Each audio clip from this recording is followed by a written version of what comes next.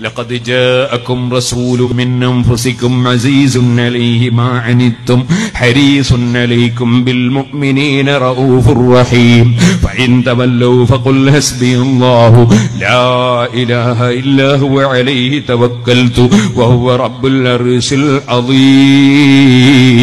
രാവിലെ ഏഴ് പ്രാവശ്യം ചൊല്ലിക്കോ വൈകുന്നേരം ഏഴ് പ്രാവശ്യം ചൊല്ലിക്കോ ഒരു മുസീബത്തും നിങ്ങളെ കൊള്ള അടുക്കൂല കേട്ടോ